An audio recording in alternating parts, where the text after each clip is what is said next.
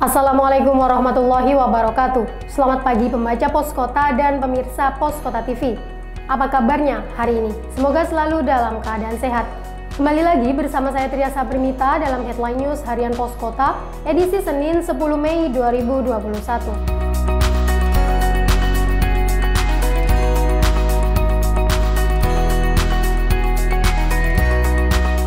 Sejumlah berita utama akan kami sajikan pada edisi kali ini.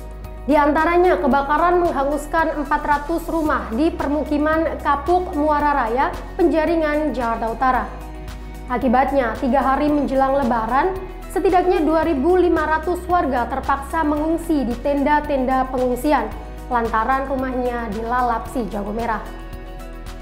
Peristiwa tersebut menyisakan kepiluan yang mendalam bagi para korban.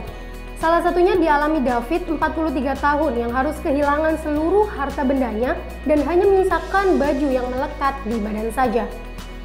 Bahkan uang senilai 5 juta yang ia tabung untuk kebutuhan lebaran turut ludes terbakar.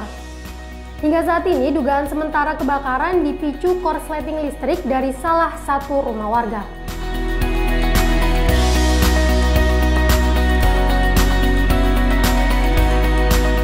Tanjung Priok berhasil membekuk 4 dari 9 tersangka kasus begal yang menimpa pengemudi ojek online di rel perlintasan Kampung Bahari, Tanjung Priok, Jakarta Utara. Akibatnya, satu tersangka terpaksa dilumpuhkan timah panas petugas lantaran melawan saat ditangkap. Kronologi kejadian bermula saat korban melintas di perlintasan kereta api tiba-tiba dicegat komplotan pelaku. Dua pelaku yang membawa celurit memaksa korban menyerahkan barang berharga berupa ponsel dan juga uang. Adapun polisi berhasil menangkap keempat tersangka usai menerima laporan dari korban dan langsung menyergap di sekitar lokasi kejadian. Kini para tersangka sudah digelandang ke kantor polisi sementara lima lainnya masih dalam pengejaran petugas.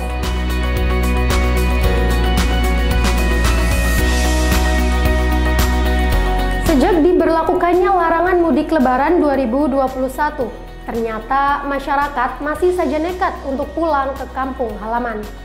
Tercatat 7.617 kendaraan diputar balik selama operasi Ketupat Jaya 2021 di pos penyekatan mudik Kadung Waringin, Kabupaten Bekasi. Angka tersebut merupakan akumulasi sejak dilaksanakannya operasi pada 6 Mei lalu. Dan hingga kini petugas gabungan akan terus melakukan penyekatan kendaraan yang berpotensi mudik.